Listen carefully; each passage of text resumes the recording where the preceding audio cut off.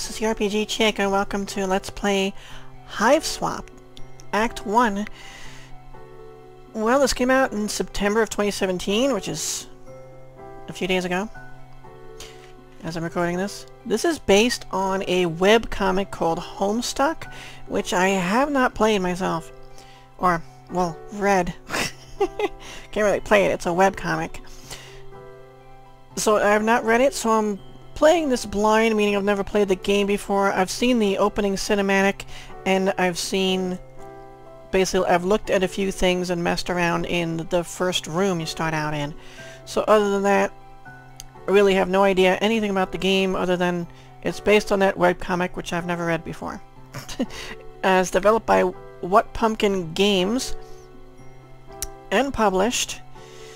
This is Act 1. There's supposed to be four acts, I believe, and no no um, date on when Act 2 will be out. I know this was... Act 1 was delayed for, like, years and years. there were a lot of issues. Some kind of issues with them totally redoing the whole engine. Uh, it was supposed to be a 3D game, now it's more like a, like a cartoonish type of thing. I mean, which is fine with me. So, uh, that and some kind of issue with uh, the Odd Gentlemen. I, I played their uh, King's Quest remake recently. Uh, something about them. Um, the Odd Gentlemen, I don't know what the details about it, but they were pulled off the project, and uh, maybe the, maybe Odd Gentlemen made the engine. I'm not sure, but there's some kind of input from them in here. I'm thinking, unless they just redid everything. I don't. I don't even know. Some of the music here, um, as there's two composers, I'm sorry, I don't know who the other guy is, but one is uh, Toby Fox, who, as you may know, is the uh, creator and everything behind Undertale. So he did some of the music here, which is awesome, because I love Toby Fox's music. I still go back and listen to the music from Undertale every few weeks. I get this song in my head, and it's it's a it's an Undertale song, and I just have to play it. So, if these songs are half as good, then yay. um, other than playing this blind, uh, the only other thing to know about my playthrough is I read all the things.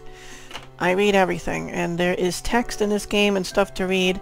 I don't know if there's any voices, so I'll be reading everything. So if you guys don't want someone who reads everything, especially because I'm very thorough and I try to look at it and examine everything, then uh, might not be for you. This is these are the only options for video and sound on music volume. It's, it's fine now, but in the little spots it was maybe getting a little too loud compared to my voice.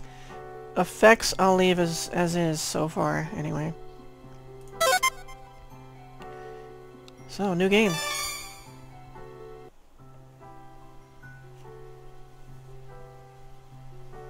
Very excited. This looks awesome very quiet here. These people don't make noises.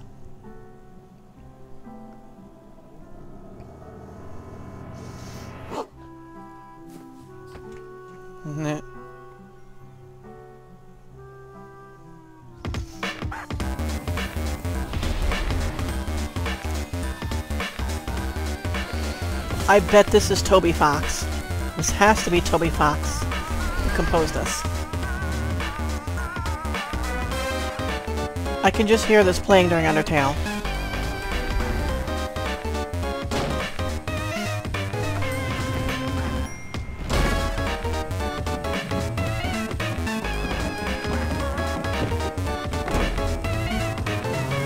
Area 51.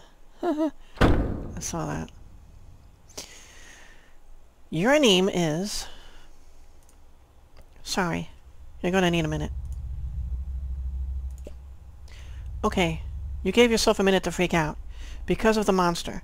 The thing with all the legs and teeth. The one you barely got away from? Minute's up, though. You take a deep breath, let the uncertainty slip away into the toothy, arm-waggling darkness, and focus on what you know. Your name is Joey Claire. You live just outside the town of Hauntswitch. You are, in no particular order, a puzzle solver, a semi-orphan, a dancer of multiple schools, an aspiring veterinarian, and a big sister. Speaking of, that monster, the one that barely missed eating you alive, only you're not thinking about that right now. It might be headed back outside, where your little brother is. You've got to warn him. Yeah, he's gonna have to fend for himself for a while because I have to look in at everything here.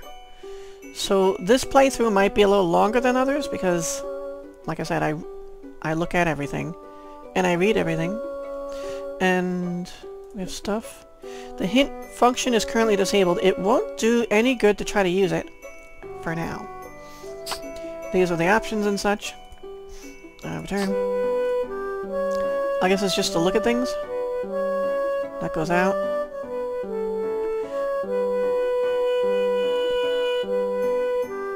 These posters, they resonate so powerfully within the very core of your being.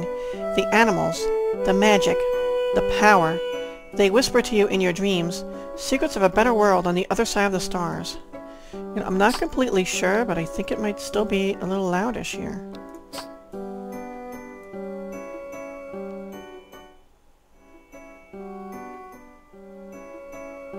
Hmm. I think this is good. Hopefully it's not too loud. So I don't really need to click the eye for this, you can just click on it. So I don't know when that comes into play. And I guess this is space for another character. And this I found out is inventory, only I don't have anything. And if you click X, it removes the interface, which is neat. This I haven't seen. I only looked at a few things in here. You examine the ceiling in more detail, as one does. It is covered by a mural that your mom painted for you when you were very young. Later you added the stars yourself. You were quite pleased with the results of the long-term mother-daughter collaboration. Your mom painted the big star, along with the rest of the mural. You love that symbol so much. So much, in fact, that your babysitter had a t-shirt made for you at the mall. The very shirt you're now wearing, in fact. These glow-in-the-dark plastic stars provide a not unconvincing illusion of space for at least a few minutes after you turn off your lights. Your brother once said, they're not accurate, but you said, they are. They're just not from the point of view of Earth. And that shut him up pretty quick. That's gonna be for any of these stars and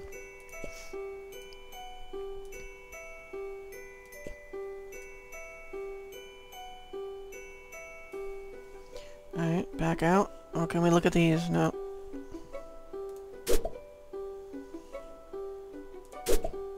Yeah. So I can't actually look at the light.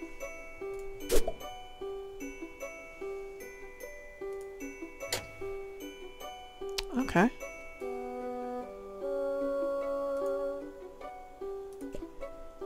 It's the 11th of November. Today started off just like any other day, with another sunrise and the sound of songbirds going hog wild out there in the trees. But their songs have all but stopped, and now there's something else going hog wild out there. You don't know what it is, but it ain't birds, and it sure it as heck ain't hogs. so you can also mark something? You've already marked today's date as part of your daily routine.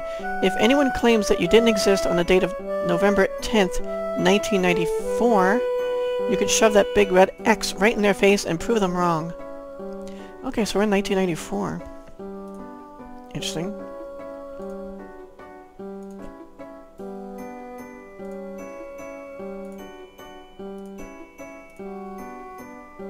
Uh, just goes out.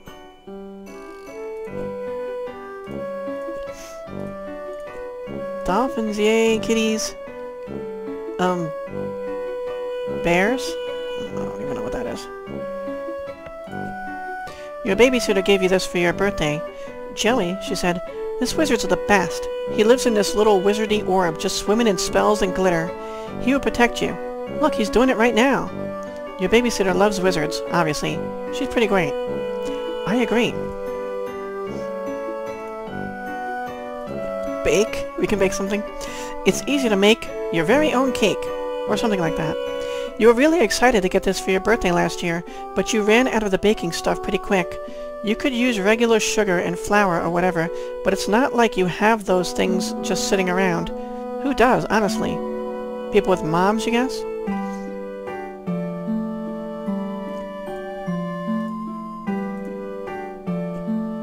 You're all out of the baking stuff. You're not too busted up about it, though. You're pretty tough. Along with ballet, you also study tap dancing. You haven't decided which you prefer. Ballet is fun, but tap's also fun, in a different kind of way.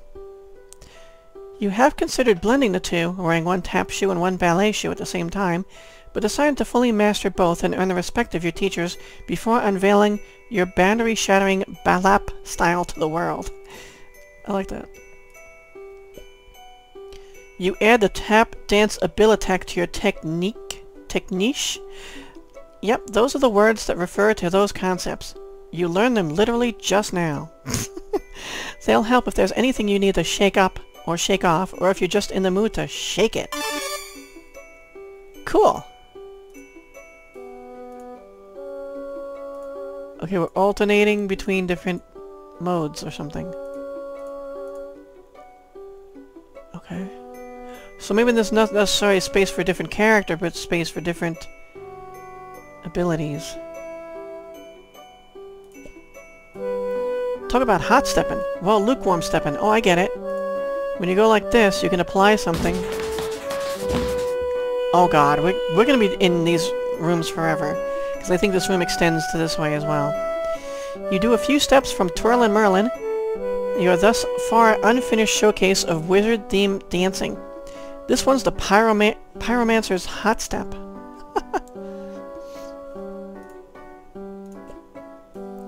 Yep, tap dances every Saturday morning your babysitter usually drives you unless, you know, she's not feeling well. It is Saturday morning. No way, you don't want to startle the nice animals, especially given their obviously incredible magical powers.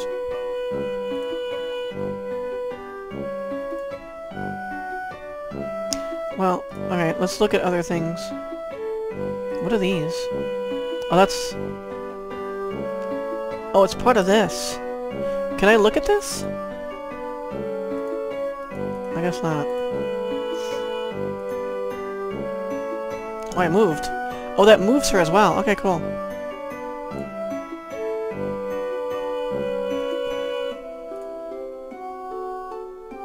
Alright, what else I got?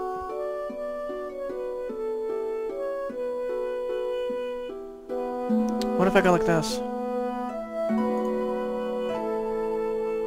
What? She made some kind of face. Did she? Oh no, uh, just some random thing. You've got more pressing concerns right now than the book report you have to hand in on Monday. Besides, none of these books are appropriate choices for a book report, according to your teachers. Your teachers seem oddly fixated on award-winning books where beloved dogs are introduced and then inevitably die. You kind of hate your teachers sometimes.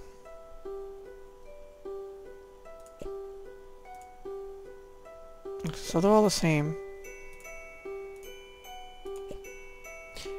You've got a couple books on the subject, but tap dancing, the preferred hot stepping of the unpretentious working class, has largely been snubbed by the literary elite. Mom won this award at around the same age as you for being best at ballet. It's pretty. More books? Tissues?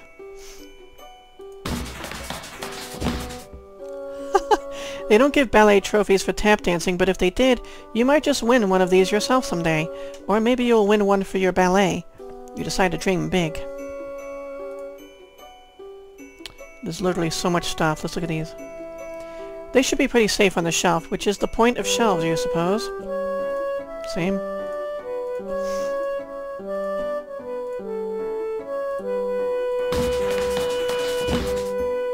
They're a very appreciative audience, as always. Surprisingly, no one fell off the shelf this time.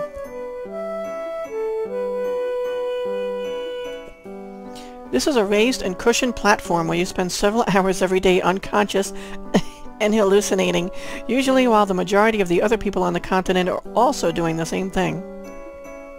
That's hilarious. It's one way of looking at it. It's too soft to get any acoustics, good acoustics for your tapping. Okay, I can't open this. Can't look at any of this stuff. Can I move for a little bit this way so I can see what's... Alright. Now, I don't know how to turn that off. Oh, I can look at them. These are your tap shoes. They enable you to tap dance. Your tap dancing lessons also deserve a little credit. That is nothing. Now, maybe if I... No, she moves no matter which button I use. Alright.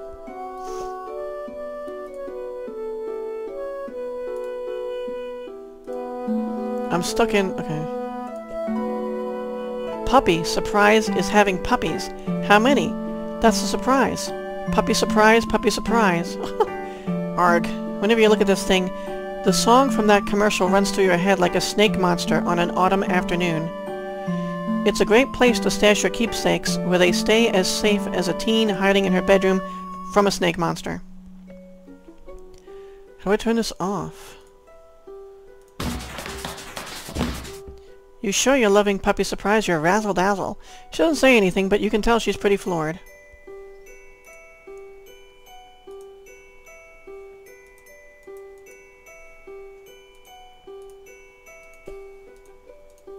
Okay. I didn't know how to turn that off. See now. I can search this. You reach inside the expectant plush canine and... Puppy surprises having puppies. This part I saw. one of the things I looked at. She's actually, she actually came with five puppies, but you gave two away to make room for other stuff. You don't know anybody else who got five. Some kid from school got four in hers, and she wouldn't shut up about it for a week. You're not one to brag, but yeah, you walk with a little spring in your step for a while after birthing that quintet of pups. Maybe you five puppy people are just cut from a different cloth.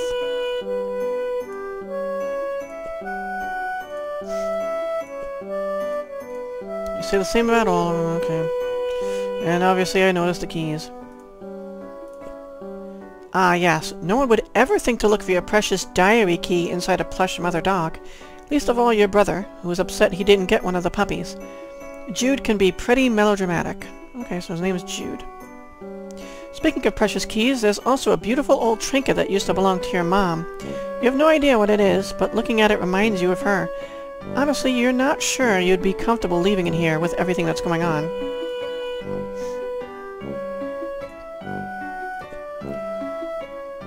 Oh. Okay, same for both keys. Alright, get. You collect the diary key from its plush hiding womb.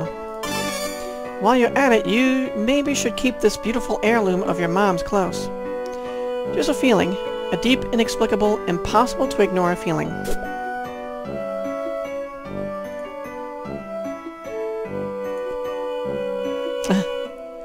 My god, we have text for everything? I literally just kicked, clicked the key on the blanket. Eh, it wouldn't be much safer tucked under your covers than it was when it tucked into a plush mother dog. You think you'll keep it tucked in your pocket. Suppose this says the same thing? You keep your diary on your desk, not on your pillow. That would be such a corny place for it. On your desk, locked up, you're making a statement.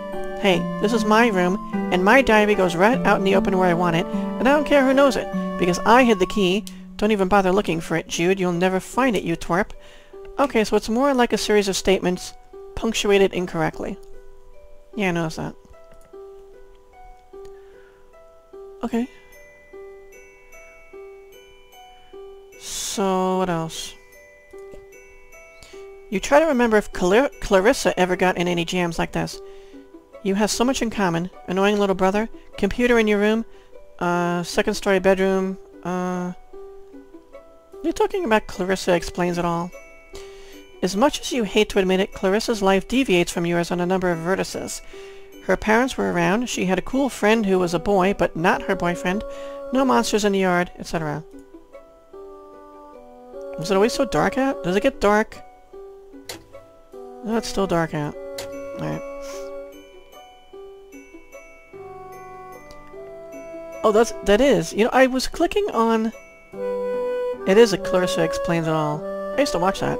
I barely remember anything about it. Other than, you know, Melissa Joan Hart. So I'm not clicking on the the thing, the the light. Your babysitter got you this Junior Veterinarian's med kit. It's kind of important to you, so you think you'll leave it here for now. It would really bust you up if something happened to it. This is where you keep your clothes. You consider your fashion statement to be fun and comfortable, and try to model yourself on Clarissa. Ah, Clarissa. She really does explain quite a few things, except, of course, precisely where she gets her clothes and how she manages to look so great all the time. Change? You could try on some new clothes, but what's a style montage without at least one party... Was, was that a bat? Those are bats with green heads or something. Ugh. I don't know. What's a style montage without at least one party offering compulsory reaction shots for each outfit? Who's going to give you an affirming head nod when you finally nail it? There are important things to consider before you carelessly plunge headlong into a style montage. But I want a style montage. Alright. Same. Alright. Okay, before I do anything else... Oh, she moves whether I'm in the eye or not. I got it. What's this? Your walkie-talkie. Half of a set. Your brother has the other one. Could come in handy.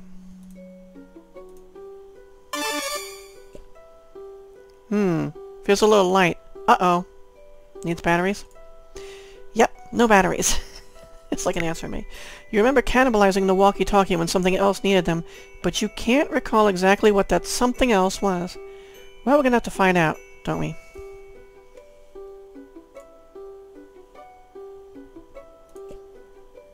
Oh, right. That's why you took the batteries out of this thing in the first place. Jude was calling you at all hours of the night for security spot checks. But a growing dancer needs her sleep after all, as does a growing puzzle solver, a growing junior veterinarian, and a growing aspiring webmaster. Speaking of puzzles, you think you might have put the batteries in one of your games. Maybe in your closet? I'm guessing not this closet then. Okay. So,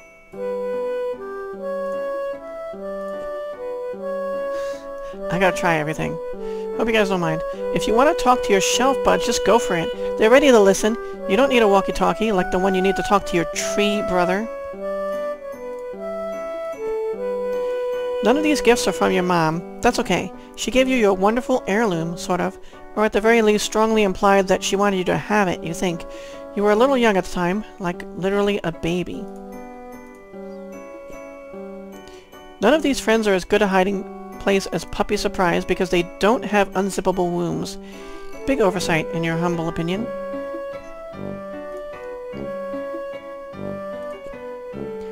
Nothing in this tiny empty oven is going to power your depowered walkie. You're pretty certain you don't need batteries, and this thing doesn't run on them. You don't need batteries. And ruin your precious heirloom by melting it? Oh, okay, it's a very weak oven, but still, no. You could bake the key to your diary inside a tiny cake, like in a movie. Then anytime you want to write in your diary, just eat the cake, which hopefully wouldn't have gotten really gross by then, or gotten gross key taste all over the inside of it. Sigh. The plush dog room really remains the best storage option. This is why I really have to try everything here. Books. Nope, nothing. Oh. As a communication device, books lack immediacy, but they make up for it by not requiring batteries and by not being limited to conspiracy-stuffed code talk with your dorky brother in his treehouse. It would be pretty cool to hide your precious heirloom behind your favorite book, if you were at all interested in doing that. With all the weird stuff happening, even books may afford no protection.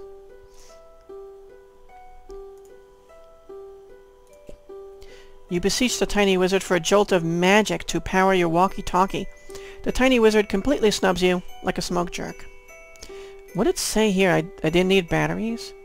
You're pretty certain you need... Oh, you need batteries, and this thing doesn't run on them. I might have read that wrong. Your precious heirloom isn't magic, right? Because that's not real. But monsters are, you guess? There's a lot to incorporate it into the old worldview this evening. His magical secrets are not going to yield to the mundane trinket you inexpertly wield. You didn't mean to rhyme, you just got caught up in his magical, mystical field. Your fate is sealed. The wizard's wizard shall be revealed. Love it. Love it. Ah, you're not gonna even bother. This one never says anything, no matter how politely you ask for stories about your mom. They were both treasures given to you by your mom. Typo. Or not quite given, you guess, or even left to you specifically, but you know your mom would have wanted you to have them.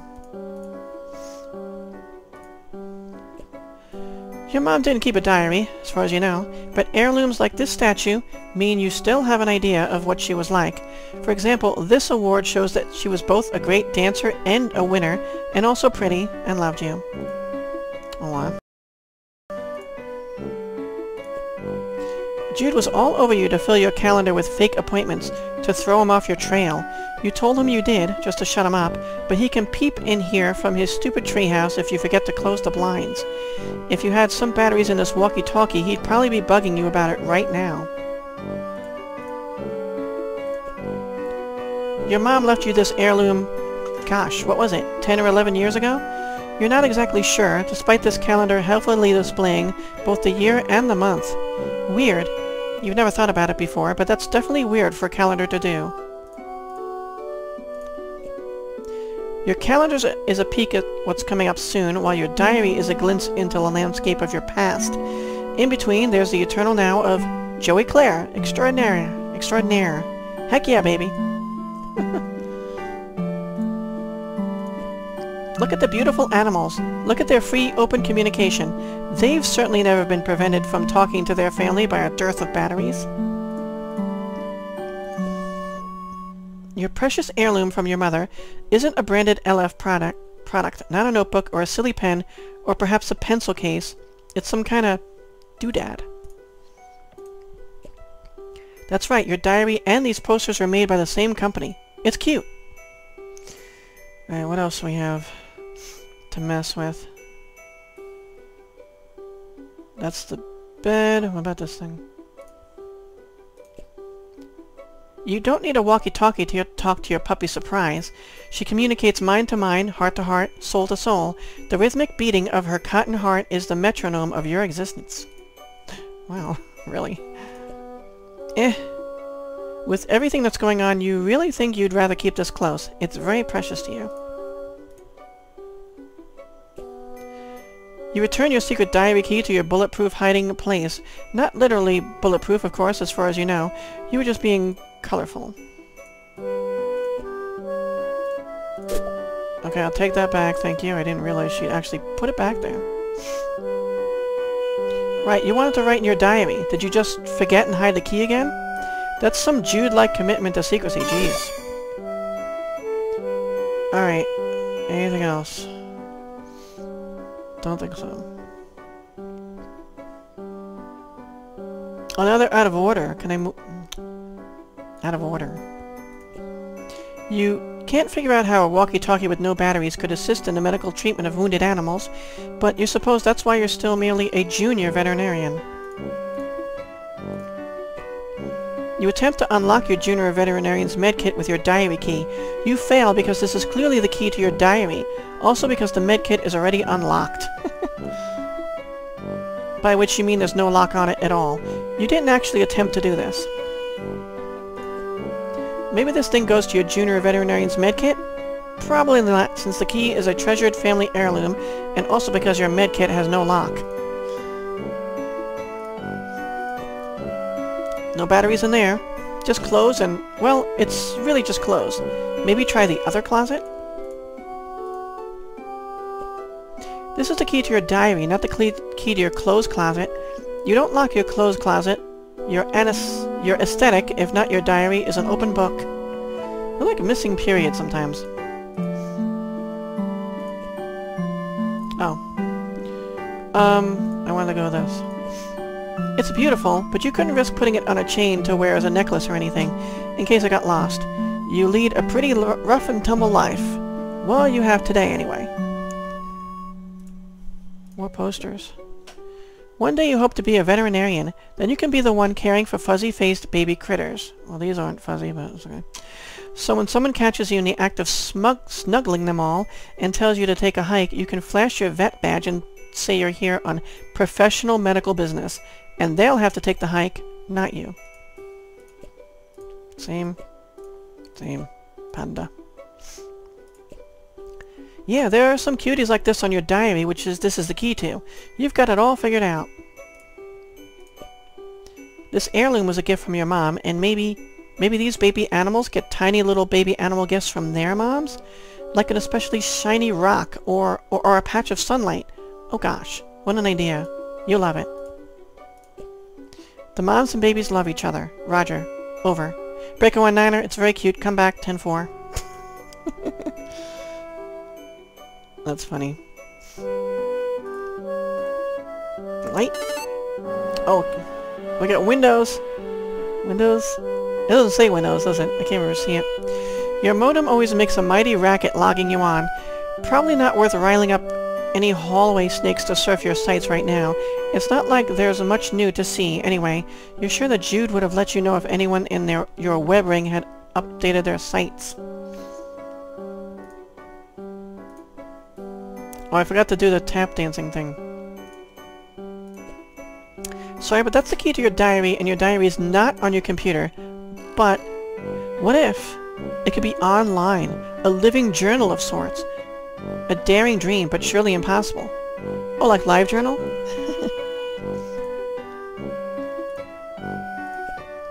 this thing's not compatible with your middle-of-the-line computer. It's just way too old. You can't just plug this in thing into that thing without using some absurd cable that would be a nightmare to locate, assuming it even exists.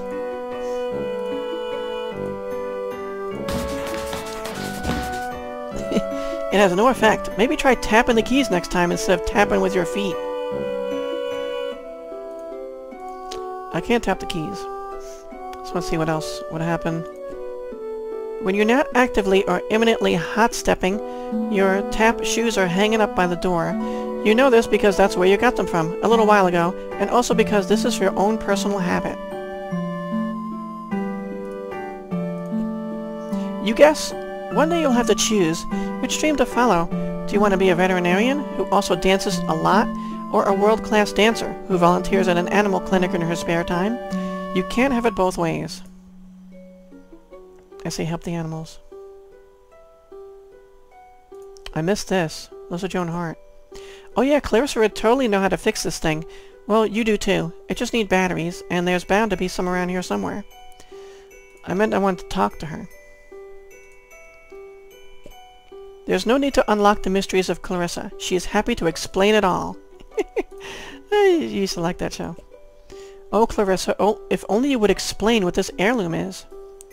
Or, you know, don't. That's fine too. Sorry to be a bother. you had a whole choreographed routine for the Clarissa theme song. Two, in fact. One tap, one ballet. But ever since the show ended last month, it just makes you sad. Aw. Oh well, Alex Mack is pretty cool too, you guess. It looks like you might miss tomorrow's episode, though. Well, whatever. The preview said it was going to be a dumb, big dance plot. You hate those.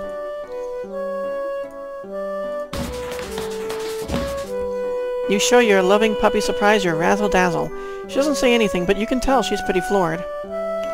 What if we do something like... Haha. I can use these, too. Some people hide secret keys in the toes of their shoes. Shoes they're not actually wearing, generally. You think, You've never been entirely clear on this practice, which is why you keep yours inside the womb of a toy dog. this saucy little thing always puts you in the mood to spin and grin. Hmm, you tap dance but the walkie-talkie still doesn't work. Nuts. You really thought that was going to do it. Definitely. Maybe find some batteries? What if I do something like this? This will open your diary. It's the key to all your most private thoughts and fantasies. So, shh. Meh, there's nothing really juicy in there. You wish that you led a life full of secrets worth coveting, but then again, maybe you're about to? This was your mom's, but you aren't sure what it is. It looks like a key, but to what? You have a deep down feeling that it's important somehow. Better keep it close. Your walkie-talkie. Half of a set. Your brother has the other one. Could come in handy.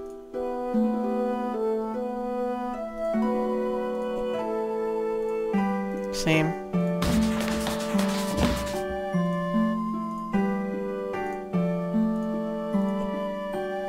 Maybe you wrote something in your diary about hiding extra batteries somewhere.